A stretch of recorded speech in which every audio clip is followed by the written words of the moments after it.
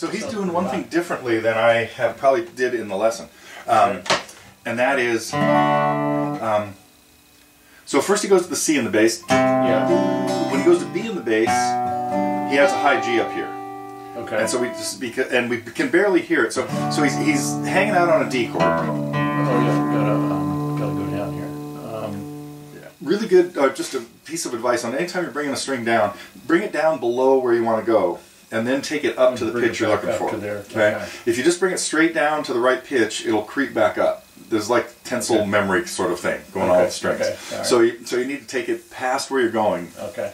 um, a little bit. Not so bad when you're going back up, but when you're when you're coming down, you gotta take it take it take it too low. Okay. Or take it too low and then stretch it a little bit. Like all the times, that's what I'll do is I'll get it close and then I'll um, try to I don't know stabilize the tension a little bit. Okay. Okay, so.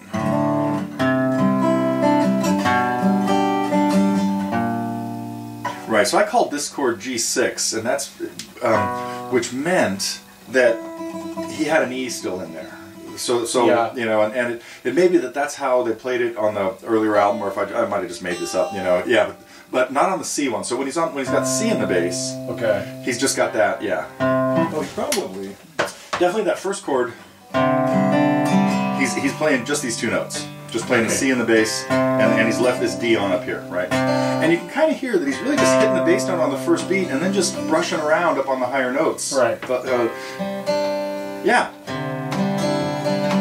Yeah, and then right there we need Okay. the next bass note. That's where the chord What's the change next happens. bass note? So yeah, he's okay. He's up and down.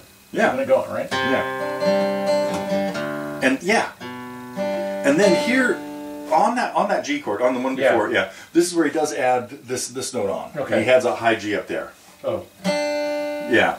You can barely hear it because he doesn't yeah, like right there, see you barely got that high string Yeah, in. okay. That's really what's happening there. So you can, I can see him doing it with his finger, but I rarely hear that note.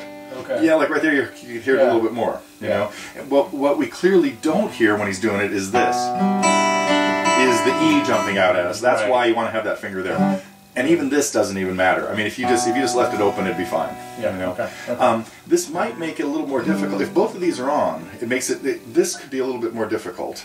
Yeah, it's difficult anyway. It's difficult anyway. and and he did take his fourth finger off when he went when he went down here. Okay. Okay. Okay. But um, yeah.